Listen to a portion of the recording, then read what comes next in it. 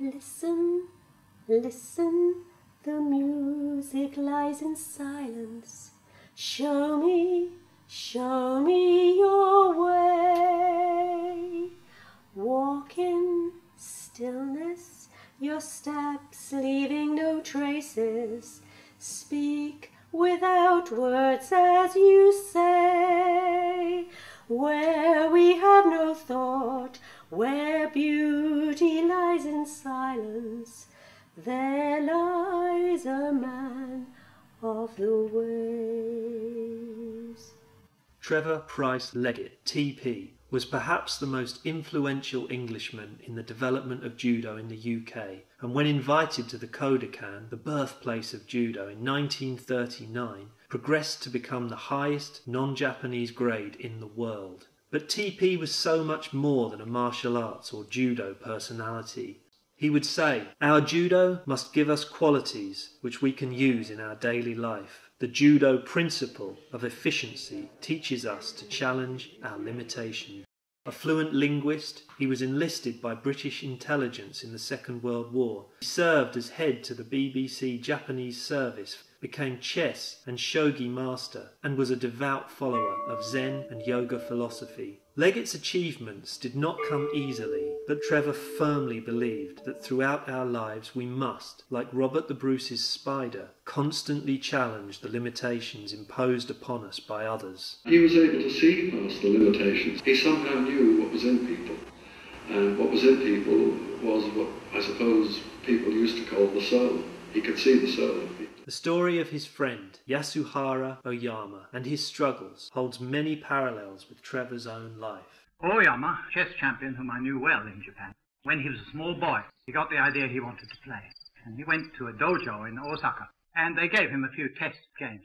And the uh, head teacher, a man of enormous experience who trained champions, he said, My boy, you haven't got the talent. To take you on wouldn't be honest. It wouldn't be fair to you. I'm not taking you on as a pupil. Well, he wept and then the teacher said, look, after school you can come here and you can clean up as a servant and you can watch the games and play occasionally. But I'm not taking you on as a pupil. Well, Oyama became a champion at least ten times and dominated the Japanese chess. He won a hundred major competitions. If he'd accepted that decision on the limitation, he would have failed.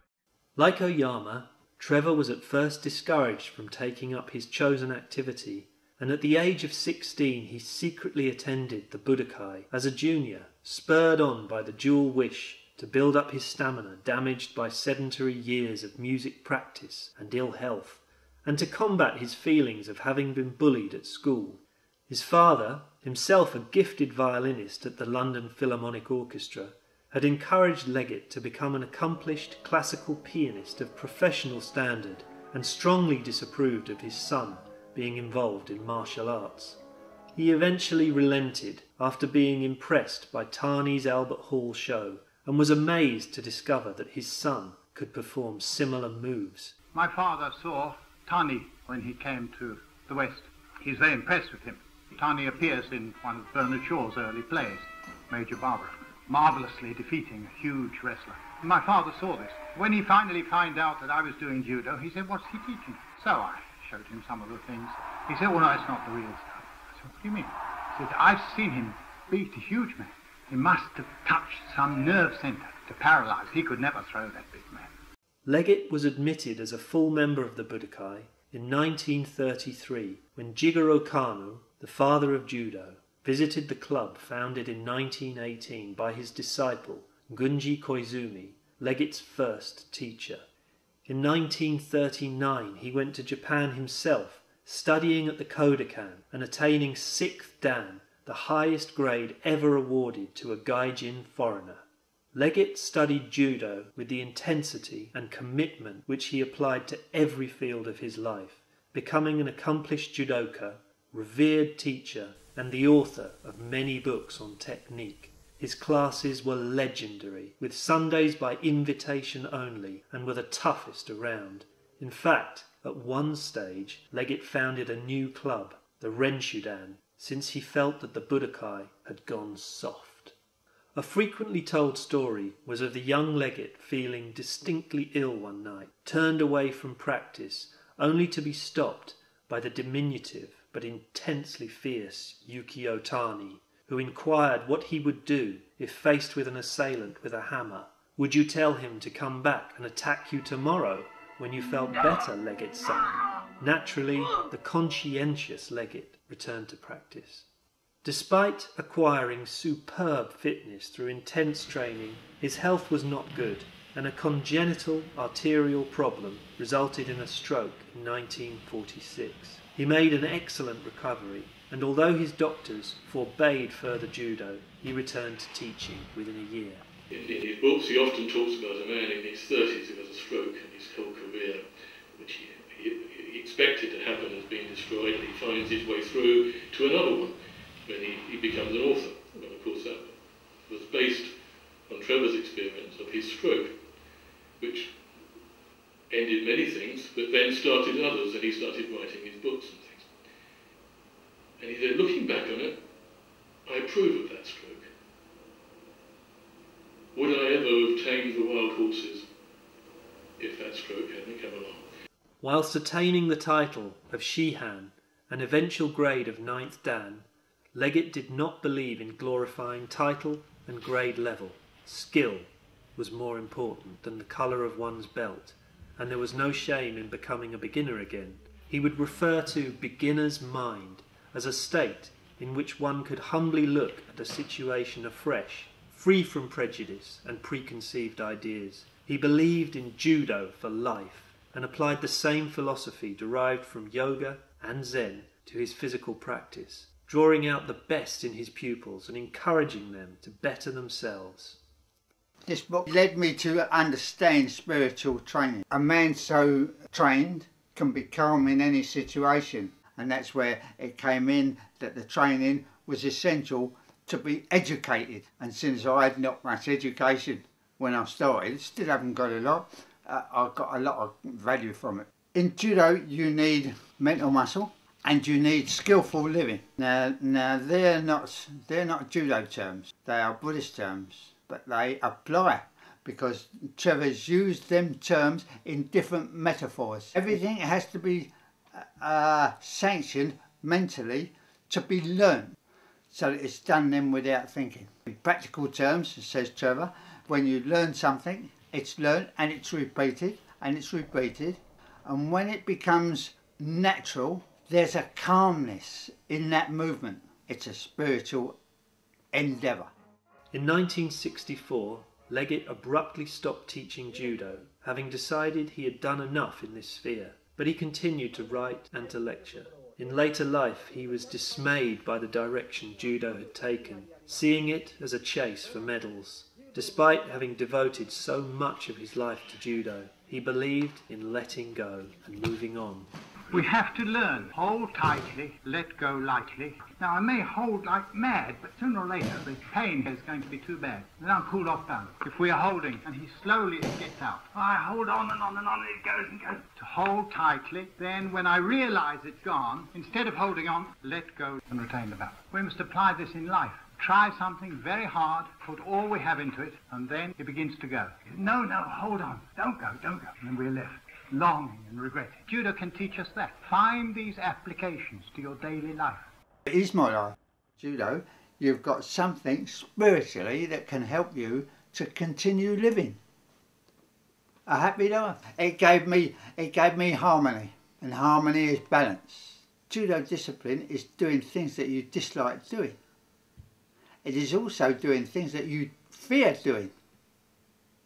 That's discipline.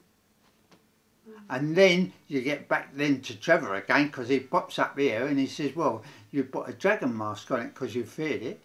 If you take the dragon mask off, it's not as bad as you thought it was. When we fall, we learn the first thing is to fall with the whole body. If we try and keep off the ground, oh, no, no, no, no. In the same way, when we have a failure in life, to use our judo practice and completely take that failure. His affinity with Zen philosophy had early beginnings when, at the age of four, he surprised his mother by making plasticine models of the Buddha, which he treated with reverence. By the age of 14, he had begun meditating, and as a young man of 23, he met his most influential teacher, Dr. Hari Prasad Shastri, to whom he devoted most of his spiritual achievements, for the rest of his life. Trevor's spiritual path was laid down in 1855 when a guru invited a group of young men and women to what proved to be a very auspicious meeting in a tiny little village high up in the Himalayas. At that time, the guru prophesied that the teachings would be brought to England, and he said a branch of the holy Ganges will flow to Angladesha, England. One of the young men at that meeting turned out to be the guru of Dr. Shastri's guru, and it was Dr. Shastri who fulfilled the prophecy by bringing the teachings to England, and he acquired as a pupil Trevor Leggett. Trevor used to always say that he had all his Zen knowledge from Dr. Shastri, but he was a very skeptical individual, and while he was in Japan, he checked out every single detail of what Dr. Shastri had told him. Leggett studied and became fluent in Japanese and entered the Rinzai Zen temple of Enkakuji in Kamakura. When seeking admission, a disciple must sit in meditation pose outside the gate and wait to be called forward. Leggett sat for many hours outside the famous gate of Enkakuji, realizing that he was being secretly watched and that if he moved, he would not be found worthy of admission. When he was eventually called forward, he had to be lifted by the monks since his legs were temporarily paralyzed and could not support him any longer.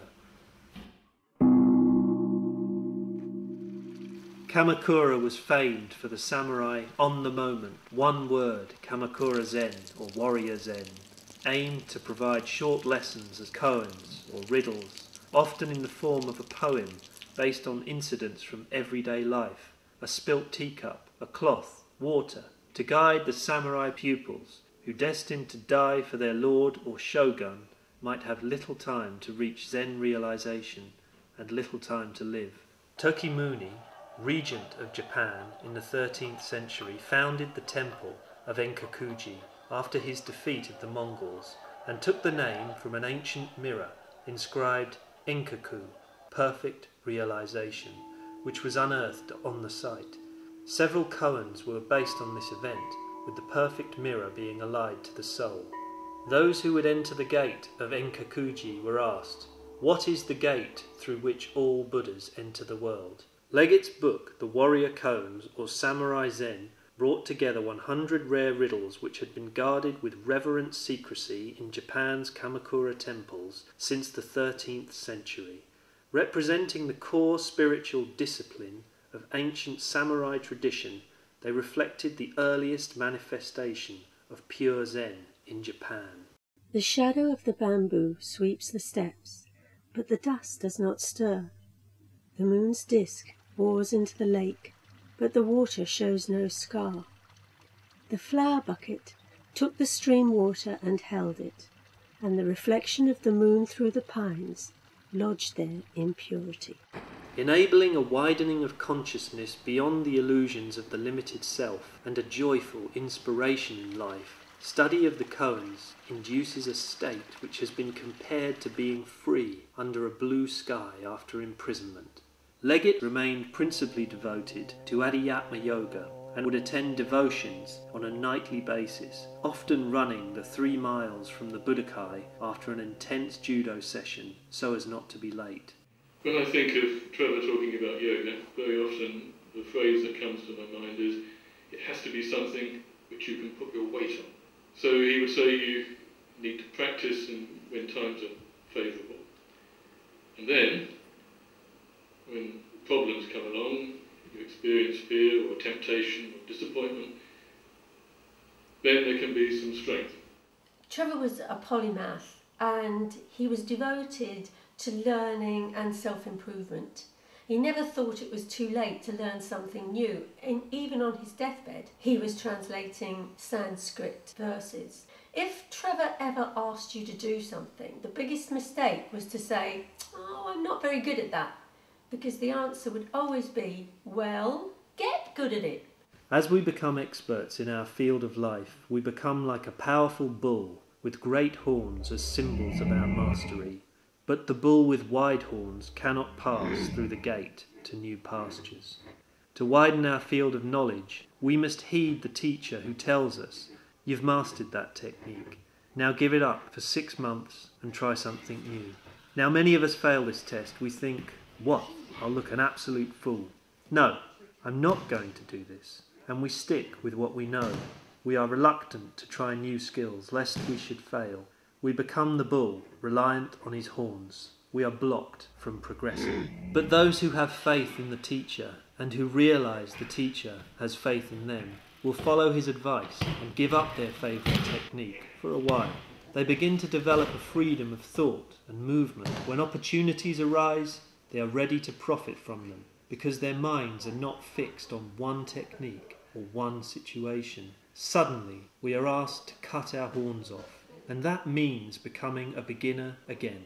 This is a very important side of the spiritual as well as the technical aspects of training. When we've mastered something, we should take up something else where we're going to be no good at all. If you're a violinist and you've mastered the violin, then take up the piano and you'll be stumbling over five finger exercises. When you've become a great big frog in your own pond and you're puffing yourself up, go to the neighbouring pond and become a tadpole, a tiny little tadpole. This is again cutting off the bull's horns and being able to go freely into other forms. Like the ancient teachers of the samurai, Leggett used analogies from the martial arts in helping his students to achieve Zen meditation free of intrusive thoughts.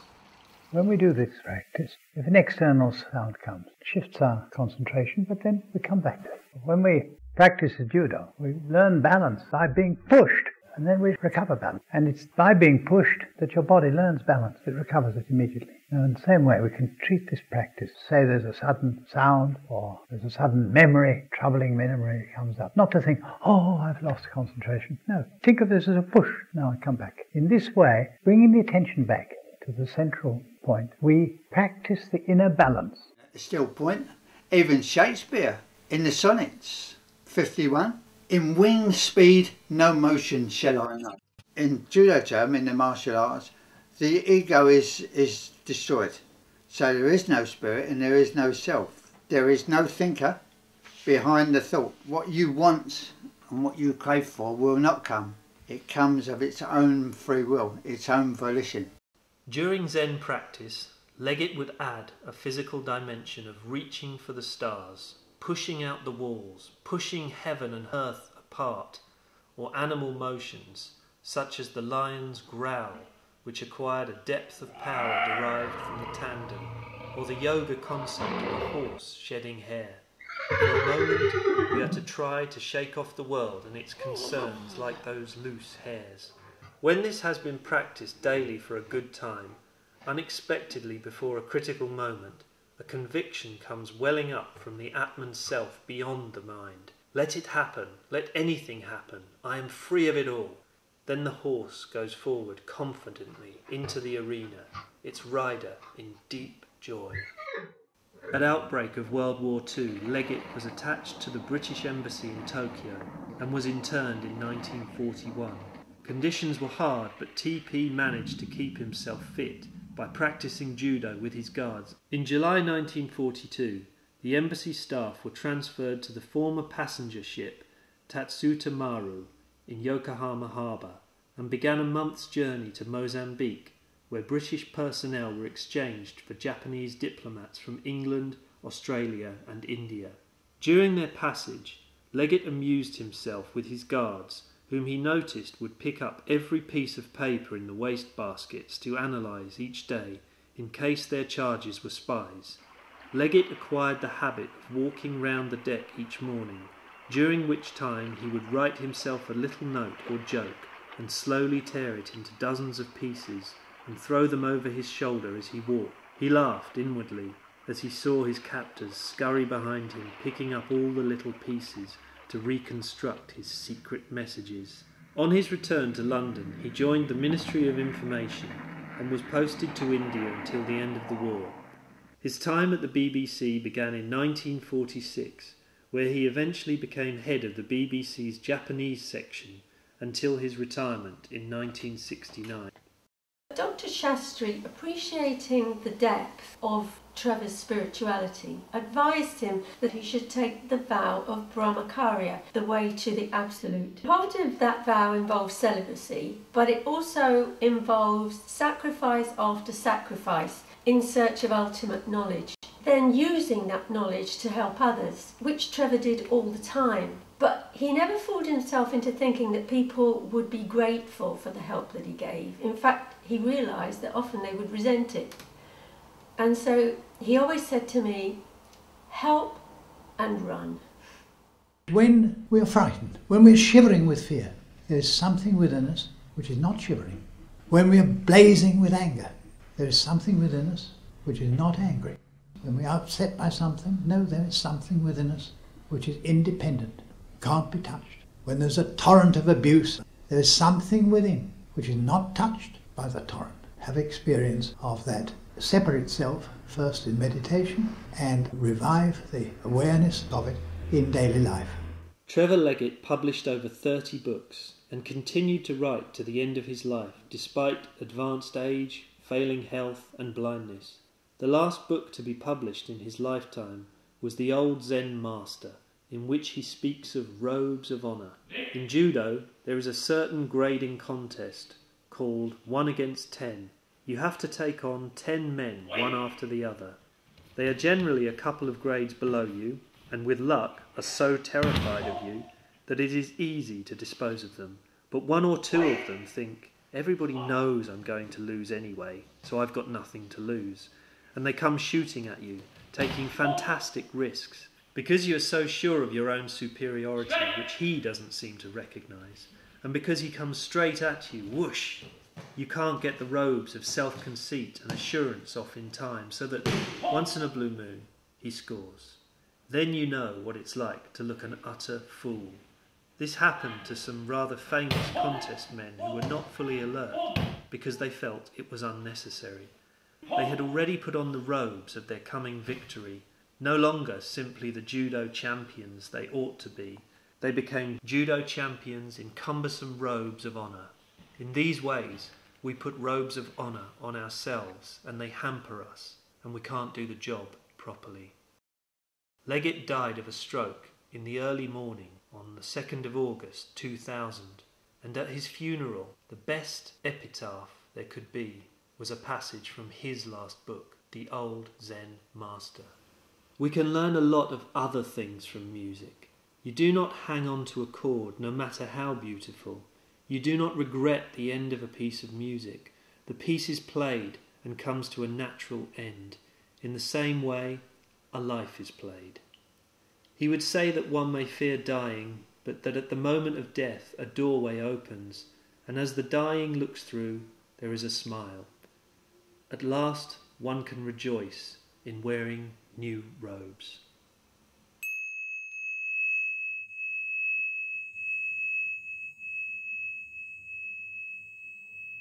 Though the leaves may fall and the music ends, still the sun will rise once more. Though we may grow old and we lose it all, yet we'll have new robes to wear. Yes, we'll have new robes.